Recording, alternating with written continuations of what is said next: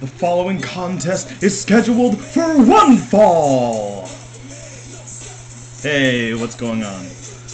Um, welcome again. If you don't know by now, my name is Mr. Oonter. These are my WrestleMania predictions. WrestleMania, a granddaddy of them all, bigger than the Super Bowl. I'm just kidding, but to me it is. Um, it's next Sunday. I'm excited. Can't wait.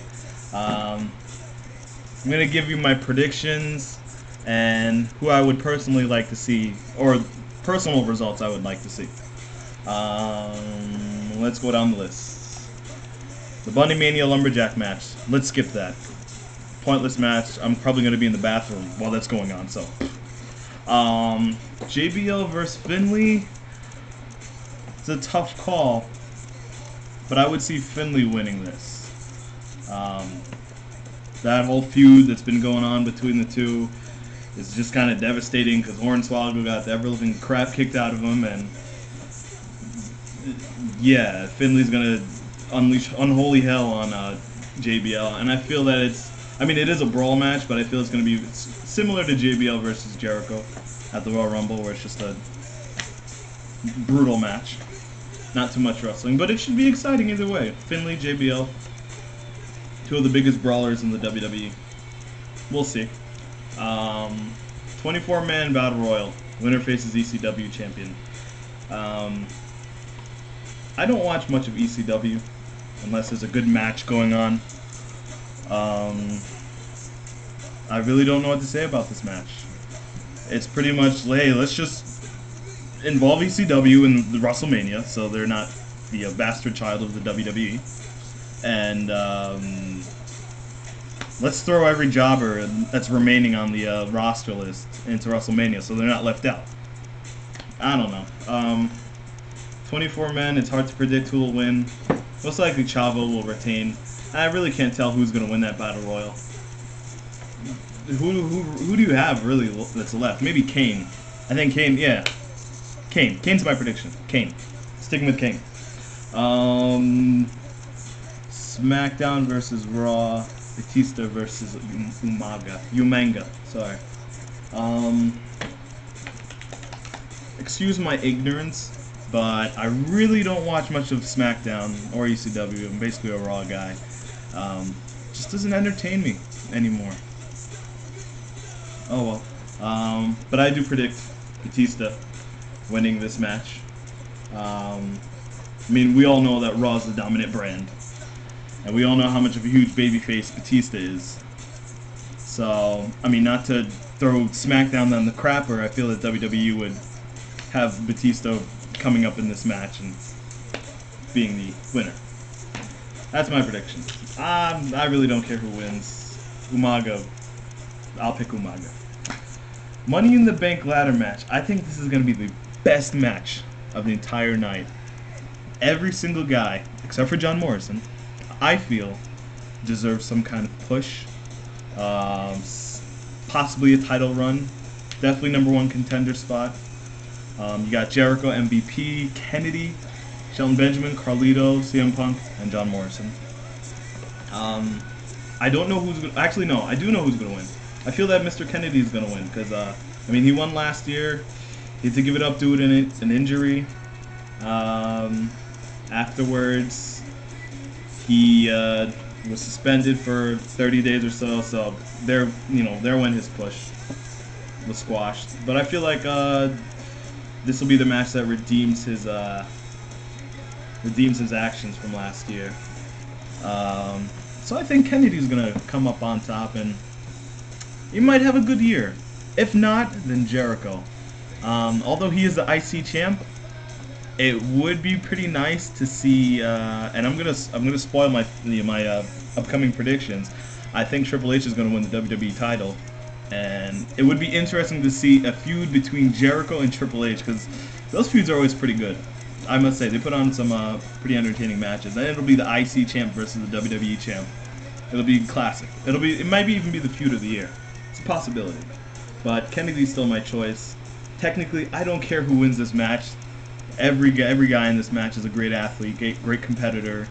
They all deserve a push, except for John Morrison. Um, So any any anybody, just anybody.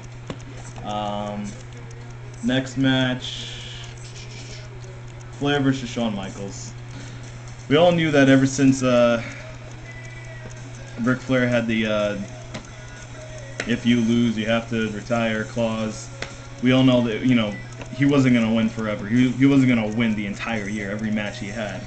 Um, but what better way to lose than you know on the biggest stage of them all in wrestling, WrestleMania, um, against you know someone, an iconic figure in the business, Shawn Michaels. I mean, this has to be, this also has potential to be a great match. I mean, Shawn Michaels, great wrestler, great entertainer. Uh, Ric Flair, also a great wrestler, great entertainer, but it's obvious that he's he's past his prime, and he you know his age is showing. Um, but I don't think he's going to be afraid to go all out in this match. It's probably going to be his last match. Um, so this is going to be a very entertaining match. My prediction: Shawn Michaels is going to come out on top. Um, and he, I, you know, I do want Shawn Michaels to come out on top. Um, and it'll put another notch into Shawn Michaels' belt. You know, he's got enough notches in his belt, but it's going to add another one. So this is going to be a good match. Floyd Money Mayweather versus The Big Show. Most promoted match in uh, for WrestleMania this year, but I really don't have any interest in it. I don't know what type of match it'll be. If it's going to be wrestling, if it's going to be boxing, if it's going to be MMA. I don't know. But um, my choice, Money Mayweather. Um, only because any celebrity that's featured in a WrestleMania event usually comes out on top. Um, although Donald Trump didn't wrestle, he won the match last year. Uh, Lawrence Taylor. Um, I can't think of anyone else. But yeah, celebrities always come out on top. What celebrity loses in a wrestling match, you know, it'll be bad publicity for them. So uh, my choice is Money Mayweather. I really don't care who wins that match, but if I had to choose, Big Show. I think Big Show has really improved himself. You know, he's 100 pounds lighter. He's faster. He looks better. Good for you, Show. Good job. Um, Undertaker versus Edge for the championship title. Streak versus Streak. And last year didn't count because Edge was injured. Um, really didn't have a choice but to lose that match. So us uh, Smarks uh, know that Edge is still uh, still has a win streak at WrestleMania. So it'll be win streak versus win streak, title on the line. Uh, it's very hard to say. I would be shocked if Edge won. You know, if he were the one to end Undertaker's WrestleMania streak. But I also believe that would put a notch in his belt. Um, Edge is a great entertainer. He's done a lot for the business. If he were to be the, beat the Undertaker, be the one ends Undertaker's streak, I think he deserves it. But I think Undertaker's going to win this one. Because uh, last year he had the title, had to give it up due to an injury. And he did lose it to Edge. Yeah. Due to an in- because of an injury. So um, I think Undertaker's going to win back his title from Edge. Uh, title that he never lost. Um, so it's going to be pretty pretty interesting match. Um, and the last match, the triple threat match.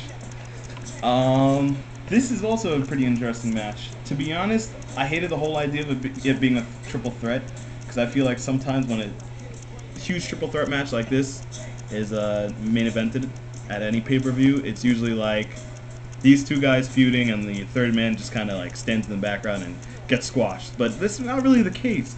Um, Triple H, John Cena, Randy Orton, they've each shown an equal amount of dominance uh, in this feud for the past couple of weeks. So it's we all know Orton's not going to win.